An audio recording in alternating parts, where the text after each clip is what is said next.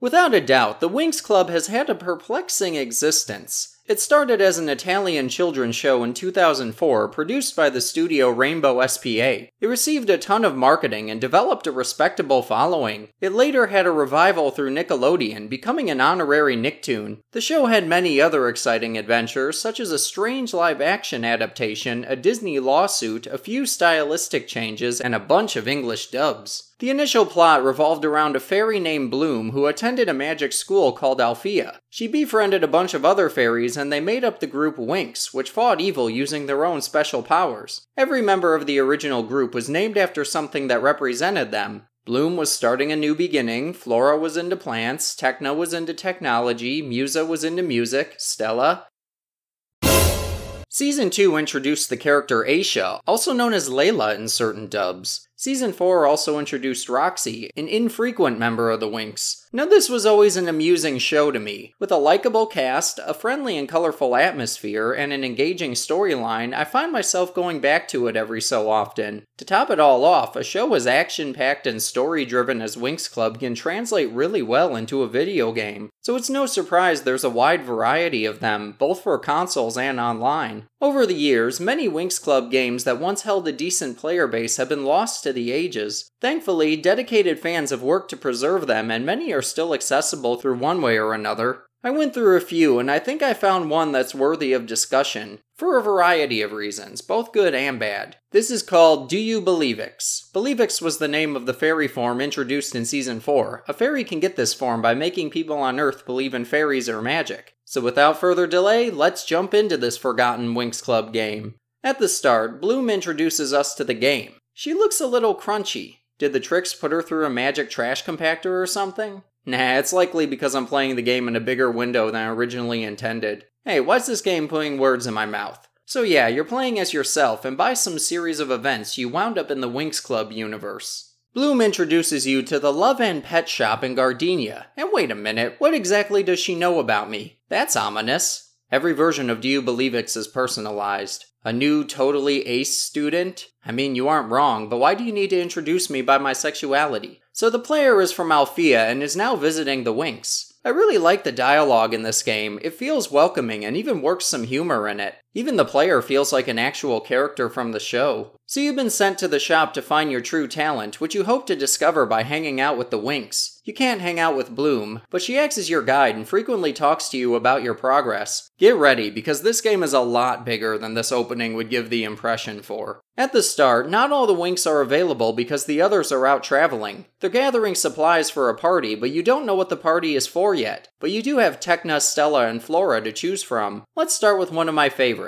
Tecna in the technology room. She was always a standout character from the others. I mean, just look at her season 1 outfit. This is where you get a taste for what to expect throughout the rest of the adventure. Tecna has a bunch of different colored batteries and needs you to fill them, so you play a tile matching game where you match the appropriate color to do so. There's no way to lose because the board just swaps itself around if you corner yourself, so it's fairly easy. A breath of fresh air compared to some of the later missions. Now let's visit Stella Stella Stella. She's the one who's obsessed with fashion, so realistically, she would probably dissipate into thin air at the very sight of me. But she's really nice to you in this. Since you're in the fashion room, her mission is a dress up game. I can't even begin to describe how many Winx Club dress up games there used to be, so it's only appropriate that there would be one in this. For now, you can dress her in basically anything. Check out this mess of an outfit. What's this character's backstory? Then you can take a picture of her and you get the option to print it out, in case you want to hang your weird Stella outfits on your fridge or something.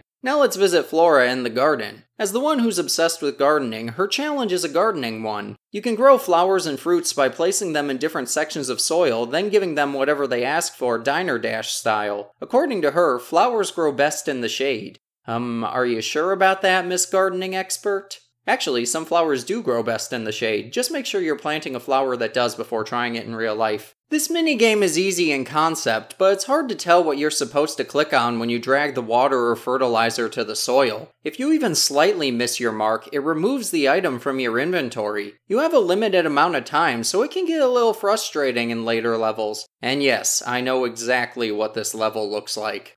Your yields did not meet the goal. Once you're done with those three, Bloom talks to you about finding your talent, then sends you away only for you to go back to her afterwards. She can't get rid of me that easily. Then she tells you that Musa has returned from her supplies gathering, so you head to see her next. Musa used to be my favorite, so you can imagine I was looking forward to her mission. She tells you it's a rhythm game, and you get to play the electric guitar. Now, as someone who is laughably terrible at rhythm games, I was a little nervous about this. But who could possibly say no to Musa? Let's see how it is.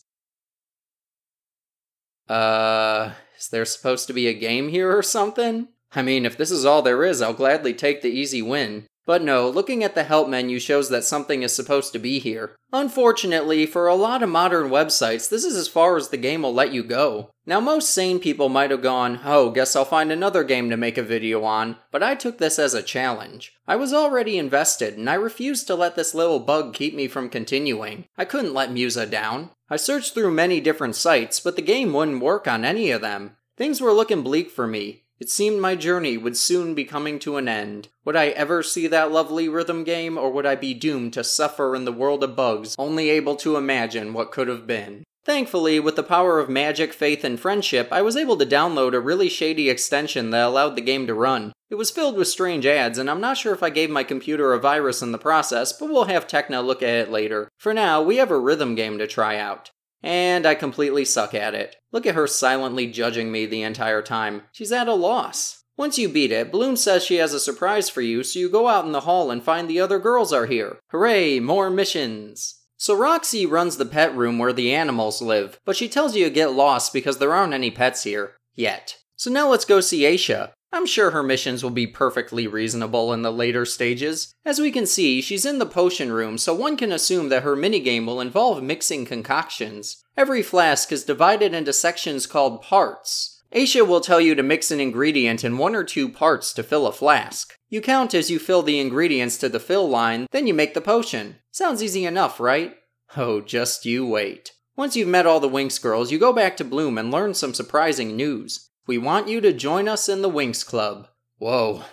I don't know if I'd be a very good fit, but talk about a childhood dream come true. How many games do you get to canonically become a member of the Winx Club? This is the best game ever made. I don't even need to see the rest of it. But I have to because Bloom has yet another surprise. Apparently, they were planning on letting you join before you even showed up, and the party is being held in your honor. Now you get to choose an outfit and a name for yourself. I don't know why this option wasn't available from the beginning, but I guess you needed to prove your commitment before they let you in. This really is a joining the Winx Club simulator. So you can't type your name in, you have to select it from a long list of typical names. Let's see if they have mine. Oh look, there it is. I mean, I usually spell mine with an I, but I misspell my name in every game anyway, so it's in character. There was also a Lucy in the show. So then you get to play a dress up game and make a Winx version of yourself. So what do you think? Aren't I gorgeous? What if I made this my new channel avatar? Just wait until the Lucy merch drops and this becomes a marketable plushie. So now that we're all dressed up, let's get this party started.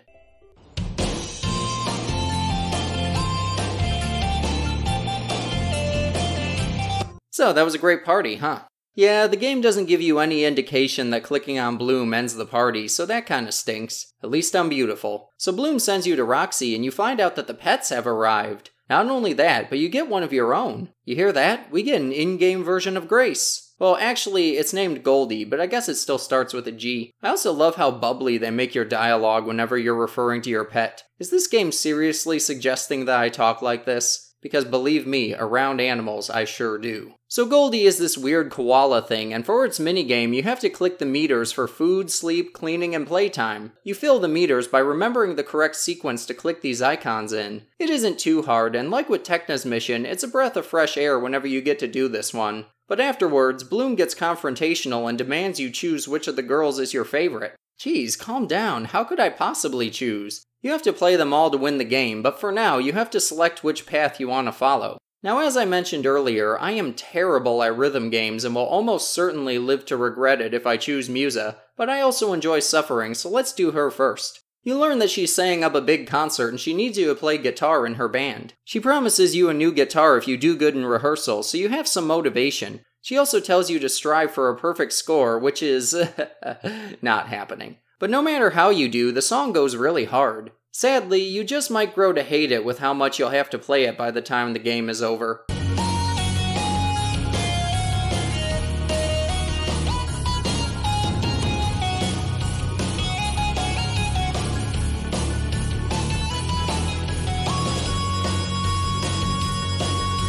This round is easy, especially since you only have to hit three keys, but enjoy the easiness while it lasts. Meanwhile, Bloom wants you to get flowers so she can decorate, but come on, I'm practicing for a big concert, I don't have time for your silly flower antics. Just cause her name is Bloom, I swear. So you head to Flower Girl and hear Musa jamming out on her new guitar. Then you do Flora's mission, and while it's probably a smart idea to take it slow and do a few flowers at a time, I'm overly ambitious and I consistently insist on doing as many as I can get away with. Do I make it harder for myself in the process? Yes, but I'm an official Winx member. I live on the edge. So you head to Musa to see the new guitar, and now you have to try it out with an extra keyboard key. This is where it gets a bit more challenging.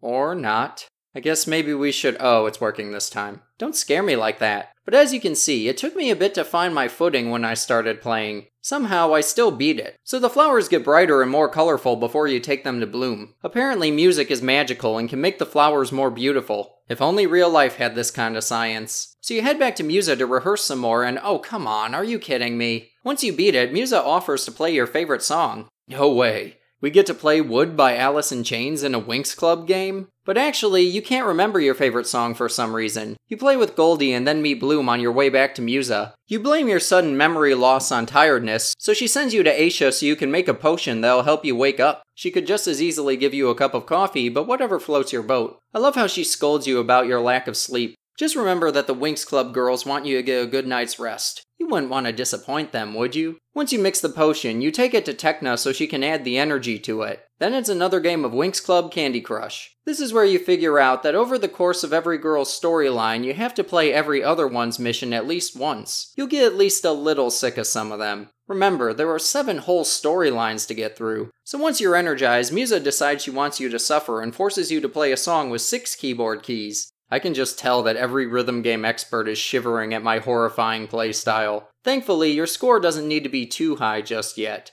but the concert is the next day, so you better be ready for it. When that day comes, as if on cue, it starts to rain, which will force the event to be cancelled.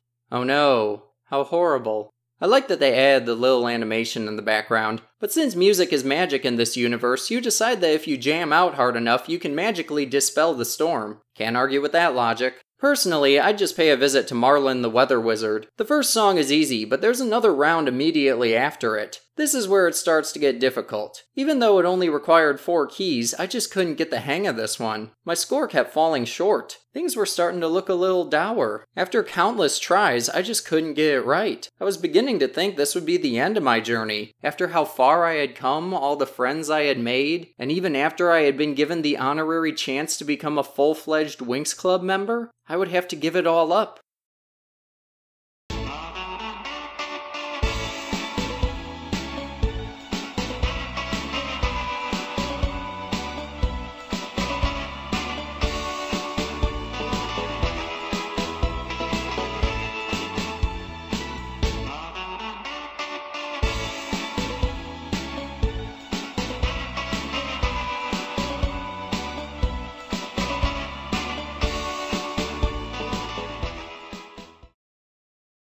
But I couldn't let Musa down. I had to dispel the storm and put on the concert if it was the last thing I did. So I turned around, went back, picked up the guitar, and gave it everything I had. It wasn't perfect, but I hit every possible note I could and put all my heart and soul into it, giving it everything I had. I was finally able to get a score of, oh come on, are you actually kidding me?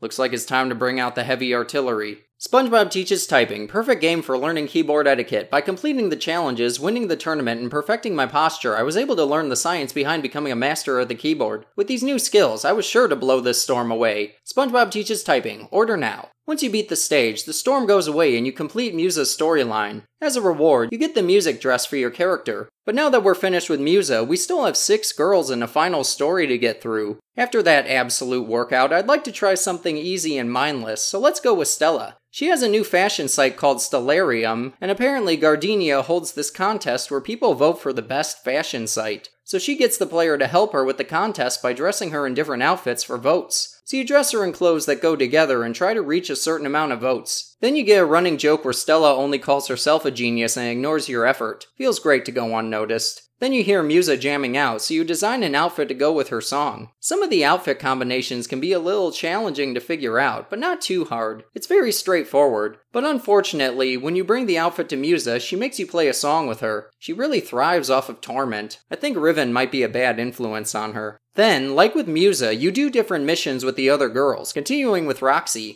and Goldie. Also, I don't know, but this potion mission is starting to seem a little picky. More on that later. But the story picks up when the website goes down, causing it to lose popularity. Ah, yes, a realistic conflict in our magic fantasy show. Thankfully, we have Tecna to help get us back online. Eventually, your site wins the contest and you get Stella's dress. I like this one a lot, actually. It matches me. Moving on to Tecna, we get to play through her mission to become technology experts. Imagine taking the test for your IT certification and they just make you play Bejeweled. The story picks up when Tecna asks what your favorite color is, but you somehow can't remember it. Once again, they blame your memory loss on tiredness. Also, when you bring energy to Stella to spice up her outfit, you get some humorous dialogue when she thinks she's supposed to wear the batteries. But after that, Bloom asks you if anything strange has been happening lately. This is a bit of foreshadowing for what awaits us. Also, no the heck she hasn't been. This has gotta be the most intimidating message I've ever received in a video game. But yeah, she needs someone to be second guitar, and yeah, yeah. Let's get on with the torture. Wait, what? Oh my gosh. Saved by the weather. Then Tecna's plot revolves around fixing the blackout. You get enough energy to help Musa, then you have to play with her. Thankfully, it's only three keys. She's feeling merciful today. So you go around restoring energy with help from everyone, then the blackout gets out of hand. Bloom gives some foreshadowing by saying she thinks something really bad is about to happen. Then eventually,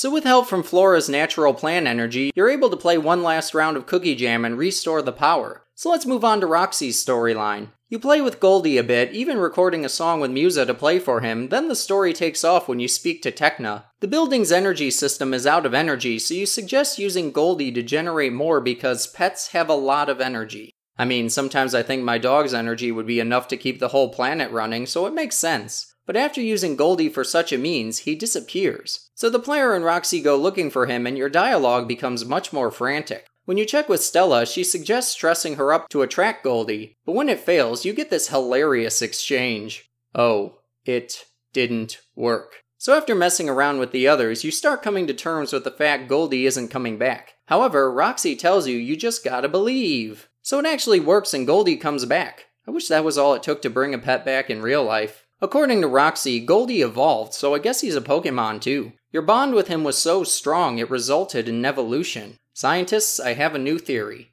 So you get your next dress and move on. Now this is where the game started to get a little iffy for me. I decided to try out the Aisha storyline, and this one is notorious for causing many headaches and preventing countless players from beating the game. Let's find out why. It starts off as a typical potion making sim, but it takes a turn when she introduces the concept of special potions. According to her, you have to be exact with them, but she doesn't elaborate on what this means. The help section for this minigame doesn't even mention it at all. You have to be incredibly specific when filling each ingredient to the fill line. If you're even half a pixel off, she won't accept it. You have to be so incredibly specific at times that you might even think the game is glitched. This is even harder than the rhythm game, and it asks way too much of the player. Though the trade off is you get a hilarious story arc where you become an absolute buffoon. You go around helping the fairies, but they all need help with really simple tasks like cleaning, moving boxes, and picking up files. So you try to make a cleaning potion, a box moving potion, and a file pickup potion. In all honesty, this would probably be me in a fairy world, accurate representation. But after you help them and learn a powerful message about helping your friends, it's back to making the accursed concoctions. Then all of a sudden, the potions just stop working. So you need to make a special potion to reverse the effects of the spell that's causing this. You have to make more special potions, and yeah, it's a nightmare, but then the game pulls a dirty, rotten trick on you. Aisha tells you to mix one pink, one purple, and one green, but doesn't specify which ingredients they actually are. I will shamefully admit, it took me hours to figure this out. You have to use both of the correctly colored ingredient options. I would normally appreciate a trick like that, but not in a minigame as picky as this. It's way too easy to confuse it with a glitch. It's never fun when you can't trust the game you're playing to not be broken. So now we just have Flora left, and her game doesn't get too much harder as it goes. The temperature gets cold, you make it hot again, you replay all the other stages, and yeah. By now, the repetition has become a little apparent. I do appreciate that every character gets their own little story, though. But speaking of story, your newest instance of memory loss comes when you can't remember your favorite flower. To be honest, I forget mine all the time anyway. Sorry, lilies. So once you've finished with all the girls, you play with Goldie and speak to Bloom. She verifies you've lost your memory after asking you personal questions that you don't know the answers to. Great, I'm totally ready for my Shadow the Hedgehog arc. You go around doing things you like to regain your memory, so let's start with something that brings me agony and do the rhythm game. Okay then, let's not. Let's go see Stella. Yeah, we love Stella. So once you dress her up, you remember your favorite color. You also remember your favorite flower after planting with Flora. Apparently it's a tiny one that grows on a few mountains. Really makes you wonder how remarkable it could possibly be. So now let's get back to Musa. Yeah, I still suck at it, but once you beat it, you remember your favorite song is one you've heard a total of one time. Geez, who hears a song once and makes it their favorite? I usually have to listen to a song at least five times before I even decide if I like it. So the air starts getting tense, and Bloom reads about a prophecy foretelling that a hero and her pet will save the day from a reality storm. Yeah, it's totally me. A reality storm is a storm that feeds on reality and devours worlds. Sure would hate to live in a universe where that's a regular concern. It's attacking Gardenia little by little and causing the inconsistencies throughout the plot. Bloom is also extremely pessimistic about this. And you fought off how many world ending threats by now? Have a little faith. So you go around helping everyone fight the storm, and this is where things get messy. You need to make a dragon spear potion with Aisha, but she just flat out gives you the wrong instructions for making it. I'm not kidding. Many players claim they could never get past this part because of it. This is a really bad mistake especially considering how strict the potion making segment is to begin with. Most people wouldn't even realize they're following the wrong recipe. They'll just think they aren't hitting the mark specifically enough. But thankfully, a few saviors have posted the real recipe online. It doesn't end up working in the story anyway. Once again, everyone is oblivious to you being the heroic fairy. All of the minigames are longer than usual, but not much more difficult. After you win a few, you speak to Bloom and she finally realizes you're the destined fairy after reading deeper into the prophecy. Had to go to page 2 of Google for that one. The reality storm gave the player amnesia to keep them from destroying it. I mean, there were probably at least several more effective options, but I'll take it. So not only do you get to be a Winx, you are literally the most powerful fairy in the Winx Club universe. How could I believe it without a proof? So when you finally decide to fight the storm, you get a fire dress like Bloom's. Then you go off to complete the remaining missions. I believe it. Do you believe it? New catchphrase. So now let's take on Musa's dreadful mission. To start, you need a 99% accuracy, and yeah, it's tormentous. But that just isn't enough. Once you beat it, you have to do another one. But look at this! Nobody's gonna hit that. I don't think it's possible to go from clicking the next button with the mouse to immediately switching to the keyboard and having your hands in perfect posture. This is a struggle to get through. I was at it for a long time, and I kid you not, my back started to hurt. I've never had that happen because of a game before. But after all that, you beat the storm and speak with Bloom again. Your memories come back and Bloom showers you with praise. Then you get a neat outfit. You go around talking to the other girls, and they all refer to you like you're the greatest person they've ever known. It's honestly kind of flattering. Makes me feel like I actually did something, aside from hurting my back in a rhythm game. The girls give you gifts as well. Goldie becomes your travel companion, Stella gives you a special diadem, Musa gives you her guitar as an eternal reminder of what you went through, Aisha gives you a perfume of your favorite flower, Tecna gives you rare gems, because I mean, what else is she gonna give you? And Flora gives you your favorite flower that'll never wilt. Then you go back to Bloom and talk about all the adventures you're going to go on, but you decide to extend your stay at the shop because you love everyone so much. After some weird final lines, we're brought to the conclusion of Do You Believix?